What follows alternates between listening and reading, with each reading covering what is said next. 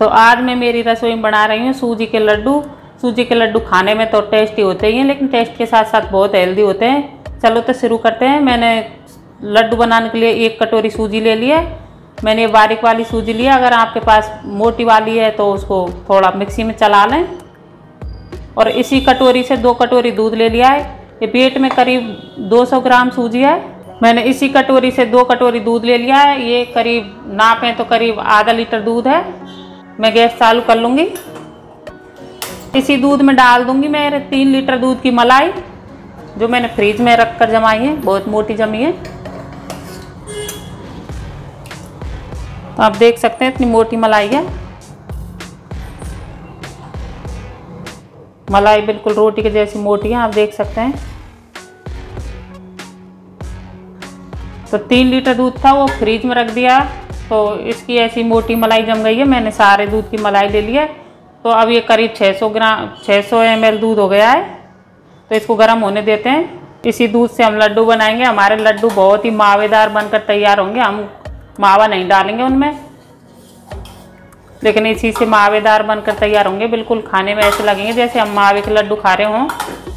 तो इसको अच्छे से बॉईल करते हैं। और अगर आपके पास केसर है तो इसी में केसर डाल दें थोड़ी सी। मैं डालूँगी इसी में केसर केसर डाल दूँगी इसी में ये। तीस पैंतीस तीस केसर डाल दी मैंने। इससे कलर भी अच्छा आएगा और टेस्ट भी बढ़ जाएगा। लड्डू बहुत ही स्वादिष्ट बनेंगे इस केसर से। बहुत ही अच्छा फ्लेवर आता है इसका। तो अभी डाल दी तो इससे क्या कलर निकल के आ जाएगा तब तक ये गर्म होगा। दूध को हमें अच्छे से गर्म कर लेना है। इधर दूध गर्म हो रहा है, तब तक मैं सूजी को सेक लूँगी दूसरी साइड मैंने कढ़ाई रख दिया गर्म होने तो मैं इसमें डाल लूँगी। एक बहुत छोटा चम्मच है, इससे एक चम्मच घी ले लिया है मैंने। ज़्यादा घी नहीं लेना सूजी को सेकने में। अगर आप चाहे तो बिना घी के भी सेक सकते हैं। लेकिन मैंने एक छोटे चम्मच से एक चम्मच घी ले लिया अब मैं डालूँगी ये सूजी। सूजी को हम लो टू मीडियम फ्लेम पर सेकेंगे। हाई फ्लेम पर नहीं सेकेंगे, नहीं, सूजी जल जाएगी। इसको अच्छे से सेक लेना है। सूजी का थोड़ा सा कलर चेंज हो गया है, लेकिन इसे और सेकना है अभी। दूध में एक उबाल आ गया है और आप देख सकते हैं केसर से कलर ऐसा हो गया है। केसर ने अपना कलर छोड़ दिया है तो दूध देखने में अच्छा लग रहा है। और पकने देते हैं, थोड़ा गाढ़ा तो हो गया है, लेकिन इसको और थोड़ा सा गाढ़ा कर लेते हैं दूध को। तब तक सूजी सिक रही है, तब तक गैस का फ्लेम मैंने सेम कर दिया, दूध को पकने देते हैं। मन मन गैस पर। सूजी के लड्डू कई तरीके से बनाए जाते हैं, लेकिन इस तरीके से बहुत ही टेस्टी लड्डू बनकर तैयार होते हैं। सूजी की हल्की हल्की खुशबू आने लग गई है। हमें सूजी को बिल्कुल ज़्यादा कलर चेंज नहीं करना है। रेड थोड़ा वाइट ही रखना है। तो सूजी का हल्का सा कलर चेंज हो गया है। मैं गैस को बंद कर दूँगी। मुझे ये अभी ज़्यादा नहीं पका, नहीं सेकना है सूजी को। हम दूध के साथ और पकाएँगे इसको। तो मैंने गैस बंद कर दिया लेकिन कढ़ाई बहुत गर्म है तो मैं एक मिनट इसको ऐसे ही चलाती रहूँगी। अब कढ़ाई भी थोड़ी ठंडी हो गई है तो मैं सूजी को छोड़ दूँगी, दूध को देख लेते हैं। आप देख सकते हैं, दूध गाढ़ा हो गया है तो मैं गैस को बंद कर दूँगी और इसको थोड़ा ठंडा होने देती हूँ। हल्का सा ठंडा होने देते हैं, गरम गरम में नहीं डालेंगे, इसमें ही हम सूजी डालेंगे। वीडियो को बिल्कुल स्किप मत करना, तभी आपको समझ में आएगा, आगे का प्रोसीजर। तो मैंने अब गैस बंद कर दिया दूध को थोड़ा हल्का ठंडा होने देती हूँ पहले। तब बताती हूँ आपको। तो हमको गैस बंद करे, पंद्रह बीस मिनट हो चुकी है। दूध काफ़ी ठंडा हो गया है। तो मैं डालूँगी इसमें सूजी। गरम ध्यान रखना है गरम गरम में नहीं डालना है। सूजी डालूँगी, आधी डाल दी, मिला लूँगी। मिक्स कर देना अच्छे से। अब बची हुई सूजी को डाल देंगे इसी में। इसको भी अच्छे से मिक्स कर देंगे। ढक कर रख देंगे 10-15 मिनट के लिए। तो मैंने सूजी को 10-15 मिनट के लिए रेस्ट पर रख दिया तो मैं अब इस कढ़ाई में लूँगी एक छोटा चम्मच घी। तो मैं डालूँगी इसमें कुछ, मैंने काजू, बादाम और पिस्ता को काट कर रख लिया। तो मैं इसको हल्का सा भून लूँगी। बहुत ज़्यादा घी लेने की ज़रूरत नहीं है और हमें इनको ज़्यादा फ्राई करने की ज़रूरत नहीं है, बस मैं एक मिनट के लिए ही ऐसे सेक लूँगी इनको। तो इसी में डाल दूँगी मैं ये, मैंने चार पाँच चम्मच नारियल का बुरादा ले लिया है। इसको भी साथ में ही सेक लेंगे ऐसे। इससे बहुत ही टेस्टी बनकर तैयार होंगे हमारे लड्डू। हल्का सा कच्चापन निकल जाएगा ड्राई फ्रूट्स का तो बहुत ही टेस्टी लगेंगे लड्डू इनसे और ज़्यादा दिन भी चलते हैं। इनकी सीलन वगैरह निकल जाती है। तो मैंने इनको एक से डेढ़ मिनट भून लिया है, गैस बंद कर दूँगी। इनको ज़्यादा नहीं भूनना है और नारियल का कलर भी चेंज नहीं करना है, बस इतना ही भूनना है हमें। निकाल लेते हैं। तो मैंने ड्राई फ्रूट्स और नारियल को निकाल लिया इनको साइड में रख दूँगी। तो 10-15 मिनट हो चुके हैं, देख लेते हैं सूजी को। वाह, कितना अच्छा कलर आया है। आप देख सकते हैं, सूजी फूल गई है और पूरा दूध सूजी ने पी लिया है। तो हम इसको अब सेकेंगे। गैस कर लेंगे चालू। और हमें इसको, सूजी को और दूध को इसमें डाल देना है। तो अब हम इसको सेकेंगे अच्छे से। इस टाइम पे अब हम डाल लेंगे इसमें थोड़ा सा घी। मैंने नाश्ते वाले चम्मच से चार, पाँच चम्मच घी डाल दिया है। आप आपके हिसाब से कम ज़्यादा कर सकते हैं। छोटा चम्मच था, इसलिए मैंने चार पाँच चम्मच डालें अगर बड़े चम्मच डालें तो दो तीन चम्मच ही बहुत है। और अगर ज़्यादा सूखा लगेगा तो हम बाद में और डाल लेंगे एक दो चम्मच घी। गैस का फ्लेम लो टू मीडियम रखना है। हाई नहीं करना है, नहीं तो जल जाएगी सूजी। इसको ऐसे ही धीमे धीमे सेकना है। इस तरीके से लड्डू बनाते तो बहुत ही टेस्टी बनकर तैयार होते हैं लड्डू। आप देख सकते हैं अभी से कितना अच्छा कलर आ रहा है लड्डुओं का। केसर डाला है ना, इसलिए बिल्कुल ही कलर चेंज हो गया है और खुशबू भी आ रही है केसर की। ना तो हमने इसमें मिल्क पाउडर डाला है ना मावा डाला है। सिर्फ़ आधा लीटर दूध और कुछ मलाई डाली है, लेकिन बिल्कुल ही मावे जैसे लड्डू बनकर तैयार होंगे। ऐसा लगेगा लड्डू खाएँगे, तब जाने मावे के लड्डू खा रहे हैं। थोड़ी मेहनत तो लगती है, लेकिन लड्डू बहुत ही टेस्टी बनते हैं इस तरीके से। इसके बहुत ही दानेदार लड्डू बनकर तैयार होंगे। आप सोच रहे होंगे, इसके दानेदार कैसे बनेंगे तो मैं आप देखते रहिए, आपको अपने आप पता चल जाएगा कि कैसे दानेदार बनेंगे लड्डू।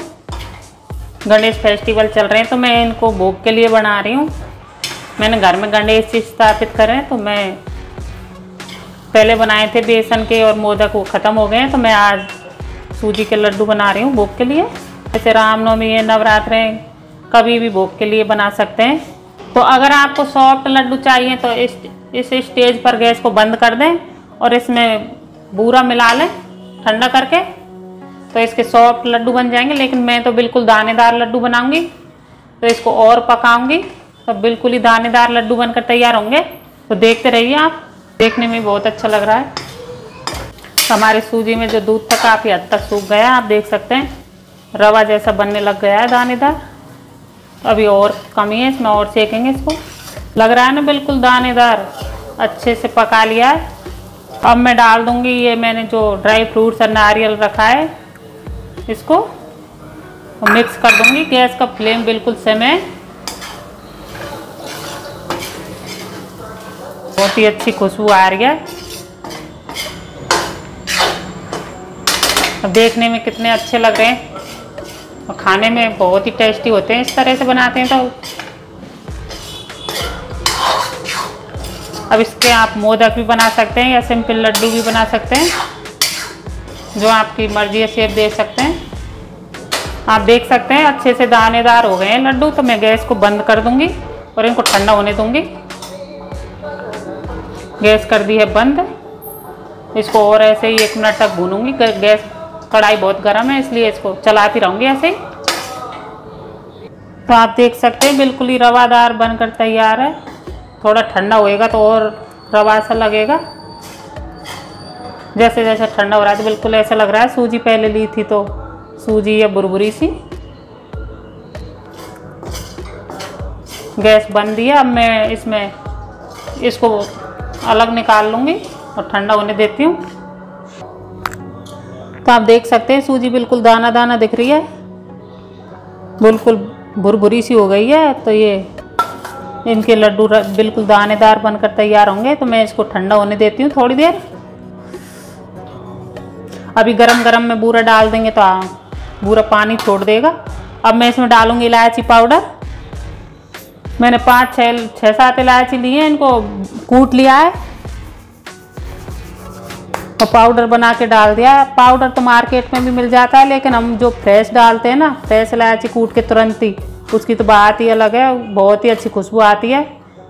उस जो मार्केट से पाउडर लाते हैं, उसमें खुशबू नहीं रहती, बहुत दिन का पाउडर हो जाता है जब। तो मैं तो तुरंत ही कूट के डालती हूँ तो उसकी बहुत ही अच्छी खुशबू आती है। मिक्स कर देंगे। अब इतना ठंडा हो गया है कि हम लड्डू बना सकते हैं तो मैं डालूँगी इसमें बूरा।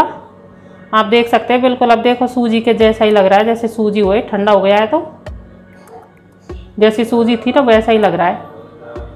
ऐसा नहीं है कि गीला है। बिल्कुल सूजी की तरह रवे, रवा बन गया है। तो मैंने पौन कटोरी पूरा ले लिया है। आप ऐसे समझो, जैसे मैंने 200 ग्राम सूजी ली है तो मैंने 150 ग्राम पूरा ले लिया है। अब मैं डालूँगी इसको। बहुत ज़्यादा ठंडा नहीं करना है, नहीं, बाद में लड्डू नहीं बनेंगे। मैंने गुनगुने से में ही डाल दिए पूरा। मिक्स करेंगे अच्छे से। अगर आपको लगे कि सूखा है तो आप या तो दूध के छींटे दे लें या फिर थोड़ा सा घी डाल लें। कम बना रहे हैं, जब तो दूध के छींटे दे लें, क्योंकि वो जल्दी ख़त्म हो जाएँगे। और ज़्यादा बना रहे हैं तो घी डालें। नहीं तो दूध से ज़्यादा दिन नहीं चलते लड्डू। और घी डालेंगे तो 20-25 दिन आराम से चल जाएँगे। आप चाहें तो इसी से मोदक बना सकते हैं। मैंने मोदक का सांचा ले लिया, मैं मोदक बना कर दिखाऊँगी। इसमें थोड़ा सा घी लगा देंगे ऐसे, ताकि अंदर चिपके ना। इसको बंद कर लेंगे। एक बॉल बनाएँगे। ऐसे भरेंगे इसमें। अच्छे से दबाते हुए भरना है।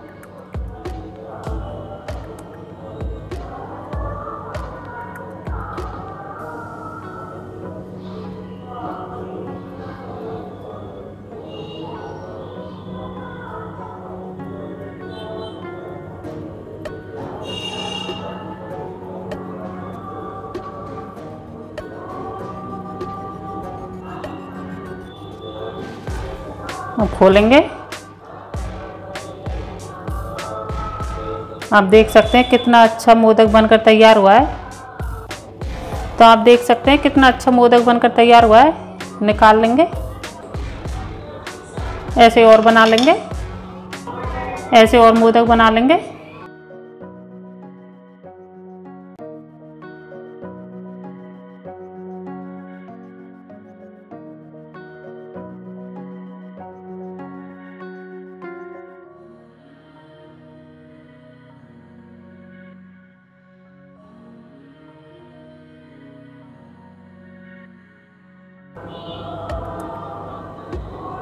इसी तरीके से हम मोदक बना लेंगे। कितना सुंदर मोदक बनकर तैयार हुआ है। तो मैंने इस तरीके से मोदक बनाकर इतने, मैंने ये नौ मोदक बनाए और मैं बचे हुए के लड्डू बनाऊँगी। इस तरीके से छोटे छोटे लड्डू बना लेंगे। देखने में नहीं लग रहे हैं बिल्कुल कि सूजी के लड्डू हैं। केसर से इनका कलर चेंज हो गया है बिल्कुल। इस तरीके से हम सारे लड्डू बना लेंगे छोटे छोटे ऐसे। इस तरीके से सारे लड्डू बना लेंगे तो मैं बना लेती हूँ, फिर बाद में दिखाते हैं। तो लीजिए, बनकर तैयार है लड्डू। मैंने इनको लड्डू का सेप दिया है गोल गोल बनाया है, और इनको मोदक का सेप दिया है। दोनों एक ही मिश्रण से तैयार हो गए हैं तो मेरे दो प्लेट बने। ये बहुत ही टेस्टी बनकर तैयार होते हैं। थोड़ी मेहनत तो लगती है, कहते हैं ना, कुछ पाने के लिए कुछ खोना पड़ता है तो टेस्टी खाना कर, खाना है तो मेहनत तो करनी पड़ेगी। लेकिन बहुत ही टेस्टी बनकर तैयार होते हैं तो आप भी ज़रूर ट्राई कीजिए। अगर वीडियो पसंद आए तो चैनल को सब्सक्राइब कर लेना। ऐसी वीडियो हम लाते रहते हैं ताकि आप हमारी आने वाली वीडियो को देख सकें। तो बने रहिए हमारे साथ ऐसी हेल्दी और टेस्टी रेसिपी देखने के लिए। मिलते हैं एक नई रेसिपी के साथ तब तक के लिए नमस्कार।